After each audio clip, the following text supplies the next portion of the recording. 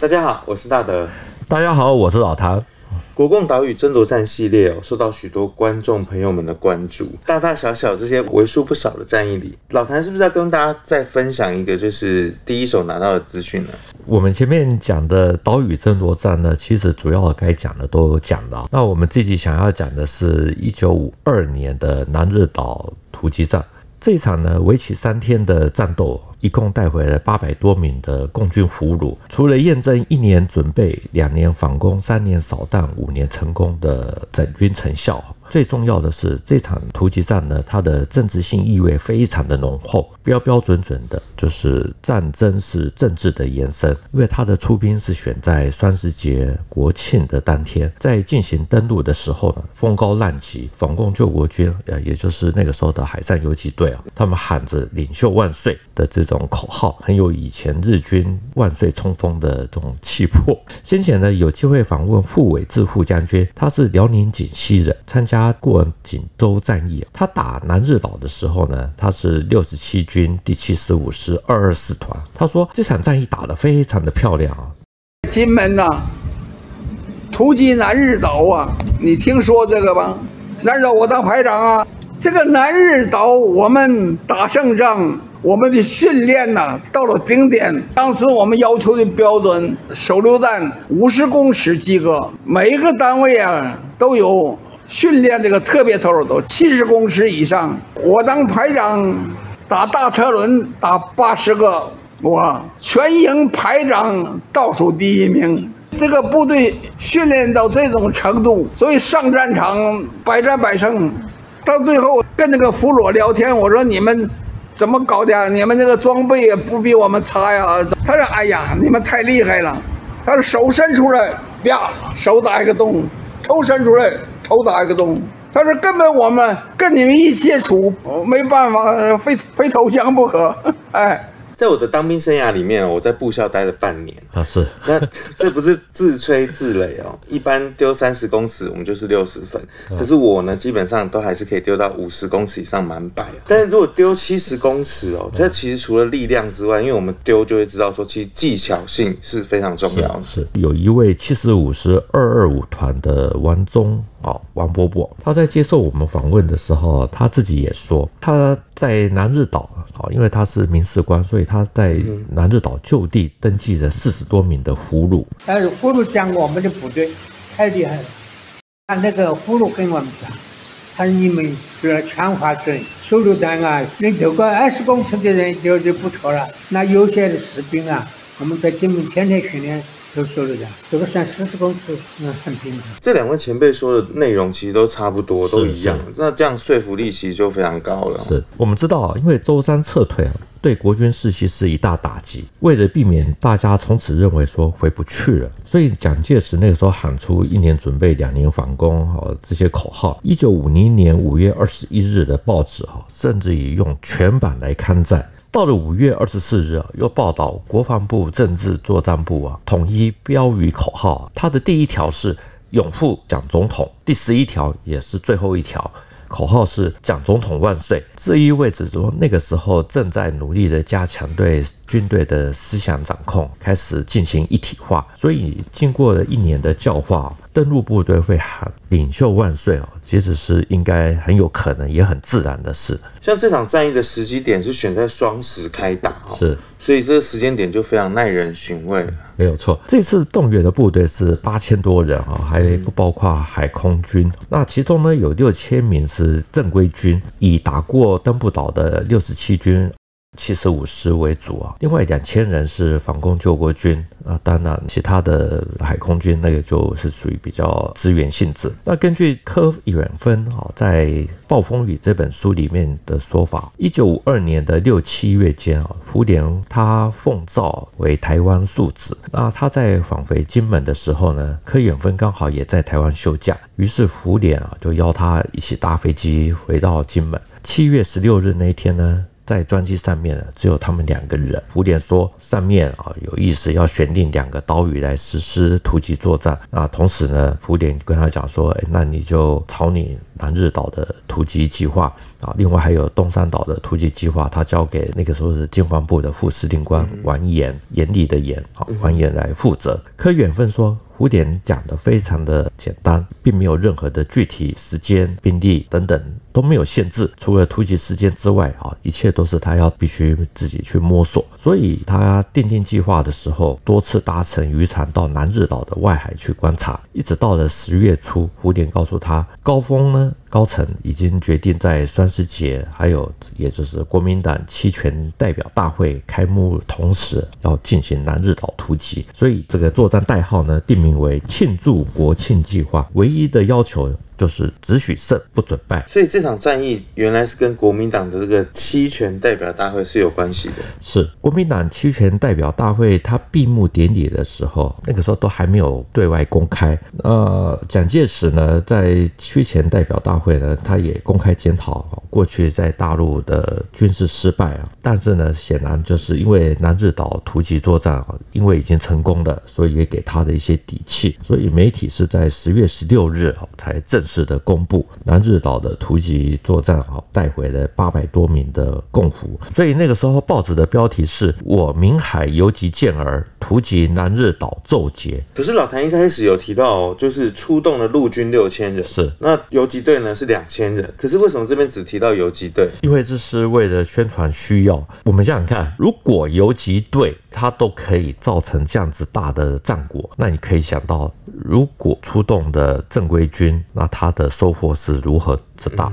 那个时候还有的宣传是讲啊，国防部总政治作战部啊，那个时候出了一本南日岛的小册子，他说这一次突击南日岛参加的共军呢是所谓的铁军，最精锐的部队，可是，在游击队的面前呢却不堪一击啊，所以这种暗示性更强。所以我们在看那个时候的报纸呢，从十月十六日第一次出现突击南日岛带回了八百名的共俘之外，之后所有的报道呢，也都几乎都只有提游击队、正规军第六十七军第七十五师啊，在媒体啊几乎都看不到。所以这样子，我们从后来回头去看，就会变成说，这个宣传的意味非常浓厚。没有错。另外呢，我们也要说明一下哈，这里的游击队呢，其实是反攻救国军哈，因为在舟山撤退之后呢。部分的游击队呢撤到了台湾啊，那也有部分南撤到大陈岛、马祖，甚至于到了金门岛啊。福典呢那个时候他也兼游击队的司令了。那这些游击部队呢主要是美元啊，所以呃这场南日岛突击作战啊，除了有台湾内部必须要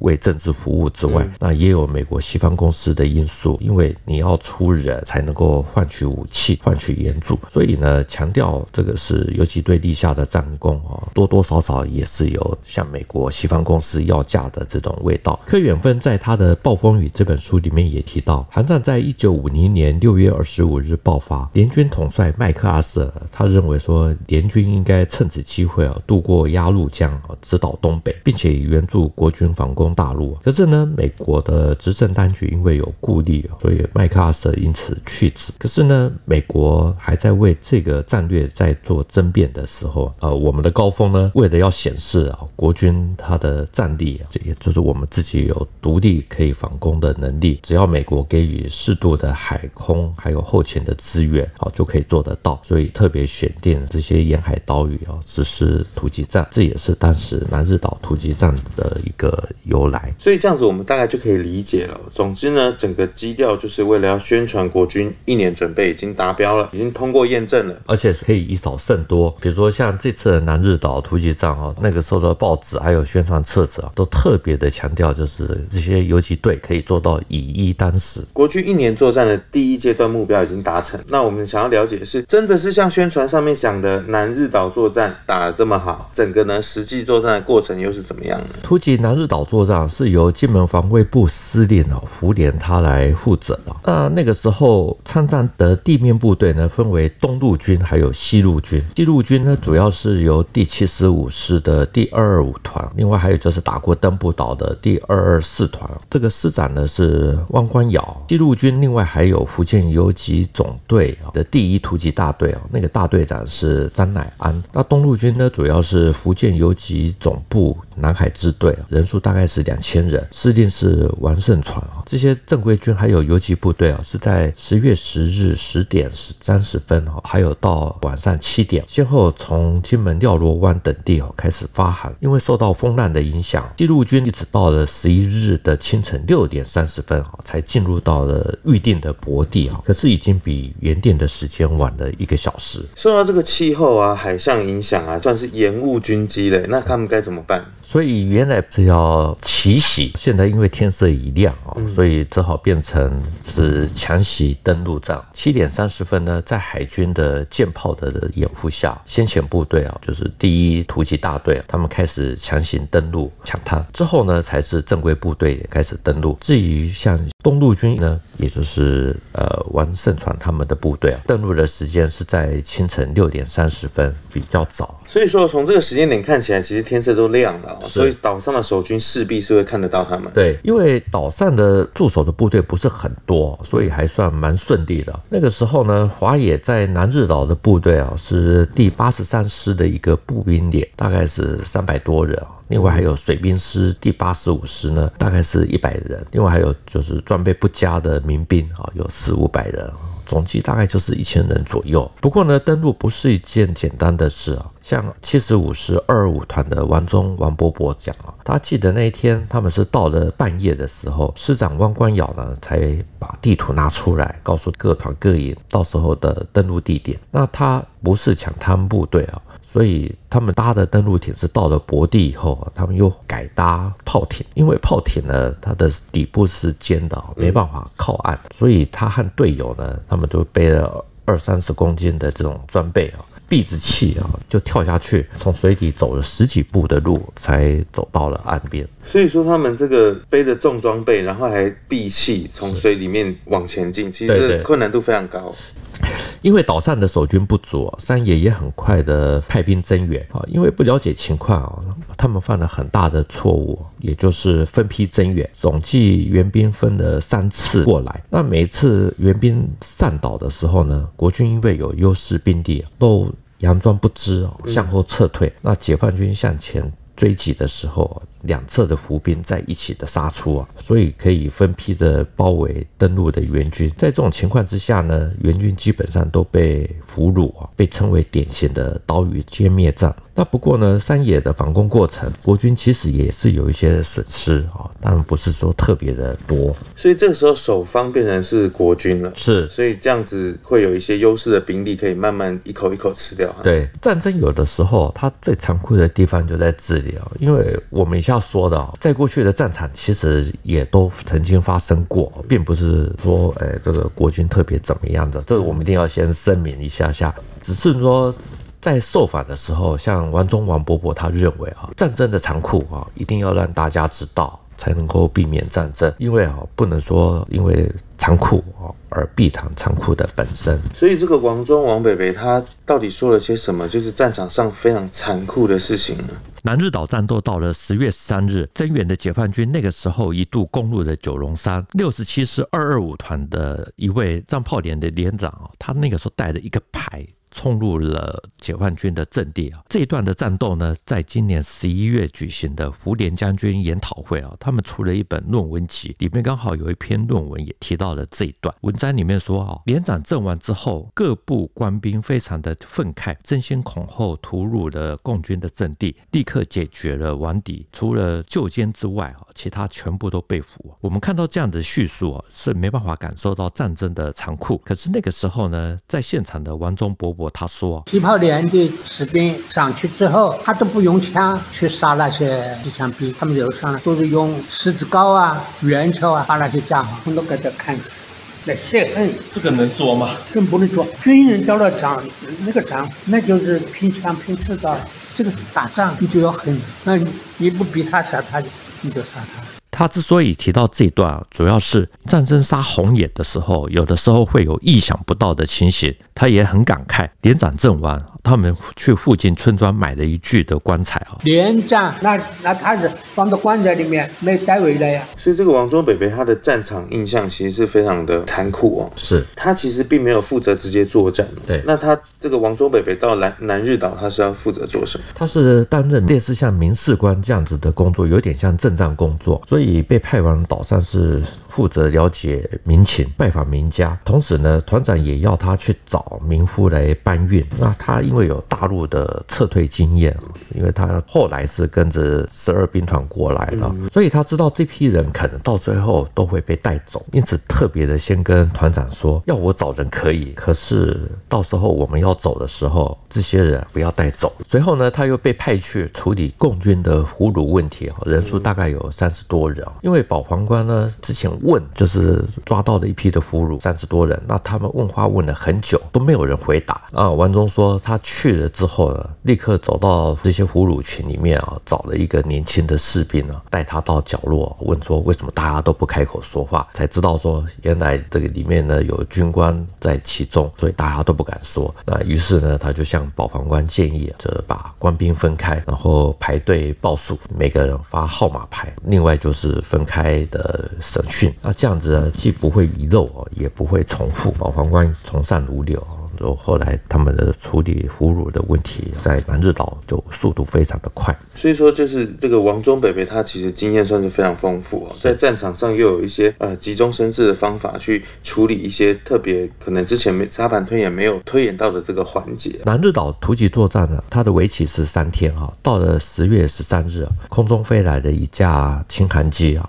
第三天应该是整个的战争就结束了。呃，到了下午两三点钟的时候啊，一架轻航机在上面盘旋，那当然就知道可能是我们司令部派人在送命令，摆了那个飞机就投了一个红布包，而且带了个小降落伞。呃，我们的指挥官王冠尧少将，王冠尧马上就下命令，所有的部队一个小时撤退成功。南日岛战役呢，就基本上正式的宣告结束。那他还记得啊，因为自己找来了三十多名的民夫，在船只即将离岸之前呢，他发现这些民夫都还在登陆艇上面，所以他就向连长报告。呃，连长，我说那天我对团长的请求已经他答应了，不带他们走，结果我又带他们下船，送他们到沙滩，告诉他们从右边回家。那我觉得这是一个功德，为什么？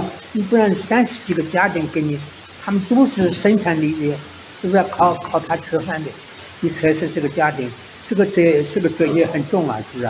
那总之呢，经过了三天的激战哦，国军阵亡三百多人，不过也有迷失十二名的士兵哦，在岛上华野守岛的部队呢，大部分都牺牲。后来呢，增援的部队也是一样啊，所以整个阵亡加被俘的哦损失大概是一千三百人。王中伯伯说哦，他们回到了金门以后，后来先后举办了两次的万人宴。所以我们在前面提过国共的这个岛屿争夺战嘛，其实大家都是势在必得。虽然前面我们有交代，南日岛突击战是一场政治作战，可看起来是很成功的，是还可以就是两次的万人大聚餐，酒水随便你喝，可以想见哦，当时的胡琏其实心情是很好的哦。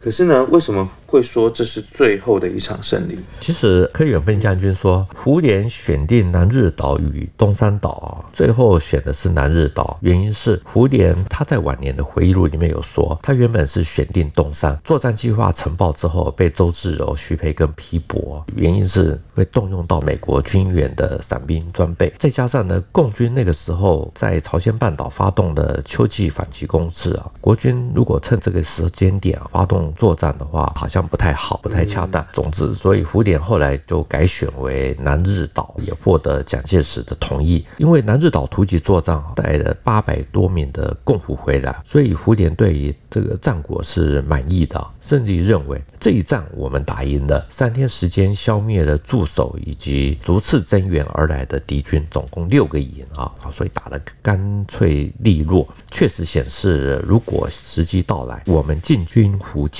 原则上将是敌败我胜。福田甚至还讲，南日岛突击战之后呢，美国总统艾森豪在记者招待会上面啊，被记者问到这个问题啊，啊，艾森豪回答：临近中国大陆的岛屿游击队啊，由这个岛到那个岛是极为普通的行动。所以这样看起来达到了这个国际上的宣传 不过我们也知道啊，南日岛突击战开始的时候呢，华野因为岛上的驻军少，他为了要增援啊，所以那时候紧急修建道路啊，这些呢也给了他很大的教训啊，所以他在短短的时间，他其实也把一些可能会被突击的岛屿哦，那些沿海的道路哦，都做好准备，也就是很快的改善他的弱点。那至于福点这边呢，因为南日岛突击作战啊，虽然国军这边也显现出很多的问题，比如像是载具不足啊、通信不良啊、奇袭变响起啊等等，可是因为胜利来的比较容易一点啊，所以很多的问题并没有被彻底的检讨。所以到了一九五三年七月十六日啊，也就是在韩战停火签字前的十一天，国军发动了代号“粉碎行动”的。陆海空三期作战，目标就是东山岛。这次是真的要打东山了，总共投入了一万多人。那所有的问题呢，也几乎在这一次呢一次性的铺路，由大胜变惨胜。我自己其实私底下问过的一些老兵哦，有参加过东山岛的，几乎都是说惨败。我们之前也做过这个东山岛突击的战役哦，也蛮多老兵北北分享这个当时的一些经验。所以其实从那个还原这些史实来看，好像真的是如老兵北北对，所以透过像这样故事，就可以知道说那次的作战成果是怎么样。这次东山岛突击战呢，蝴蝶没有等到部队完全的撤退回来，在十八日的那天晚上，他已经自请处分，因为师出无功啊，而且他还自我检讨啊，主要是犯的。战胜不复的这种大错误，也就是每一次战争胜利的状况还有原因都不会是完全相同的，等于是自己过分的轻敌。所以其实胡琏他的这个转念也转得非常快哦，是马上也做出了检讨了。对东山岛战役呢，那个时候报纸虽然说是大捷啊，就是像我们刚刚讲的啊，其实是呃惨胜啊，或者说呃是输的。那经过东山岛战役之后呢，蒋介石知道反攻大陆基本但是没有希望啊。再加上韩战结束。西方公司也彻底的金门、东南沿海呢，重新变成了解放军的主要焦点啊！国军在这里啊，也快的就失去了战场主动权。后来呢，虽然蒋介石还是有心要搞国关计划等等，可是终究并没有去真正的实现。所以这次突击南日岛啊，在游击队他被捧得这么高哦，后来可是好像消退的非常快啊。是因为这里面涉及到游击队是由谁来领导、来谁来主导？我们知道哈。就是韩战爆发，美国西方公司它在成立之初呢，保密局的局长毛人凤啊，那个时候就与蒋经国在。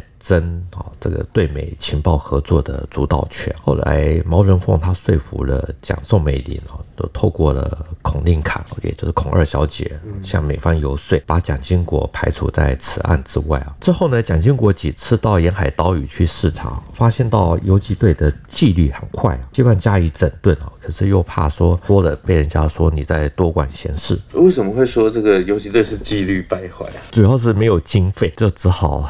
靠劫掠，也就是当海盗来维生，或者说登陆大陆的这些沿海地区，就抢了一些东西就回来。那这个原因呢，主要是那个时候国民政府没钱，却又招募游击队来卖命。那胡典呢，他为了要养兵，也搞海上走私，而且有办法从香港调金领招募流亡的前国军来当海上游击队。那等到东山岛战役之后。所有的问题全部都出来。军事评论员啊，张友化，他去年有一本书叫做《刀锋战将》，它里面有特别提到这一点啊。这本书里面写说，政府后来开始整编海上游击队啊，有些位于金门的地方武力呢，都被优先的调到东引岛驻守。有的人甚至于常年在东引岛，就是搞得百病丛生，因为那边比较湿冷。老了之后呢，要来台定居。因为他们都只有兵籍没有户籍，显示蒋介石呢对这批的部队啊并不是那么的放心，这个是一个不能说的公开秘密。我们从这一集的一开始哦，老谭还有说到海上游击队冲上南日岛是喊着领袖万岁，是结果最后是嗯有点凄惨，有蛮落魄，被发配到这个海疆。那这也蛮像在抗战胜利之后，政府把一些游离的部队哈都裁掉或者整编的这种状态。东南岛屿争夺战哦。有关游击队的部分啊，其实是比较琐碎的。虽然在南日岛突击战打得不错，国防部总政治部呢也发行一本小宣传册子哦，《南日岛》只有提到游击队怎么样英勇哦，可是时空都变了。就像福典在《金门依旧》的这本书里面说到，西方人都认为胜利就是真理。但你如果不在胜利哦，比如说像是东山岛哦，没有打赢，那真理就不会站在你这边。是，那所以说呢，我们今天讲到这个美军啊，找国军帮忙，从东南沿海去牵制解放军。老谭也很爱讲哦，军事是政治的延续哦。